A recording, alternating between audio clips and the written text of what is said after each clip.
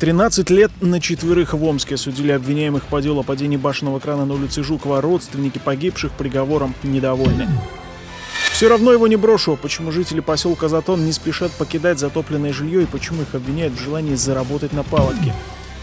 Сами себе хозяева, а управляющие компании отказываются от десятков домов в Омске. Что теперь делать жильцам? Смотрите «Омск здесь» в субботу в 20.00 и в 23.30.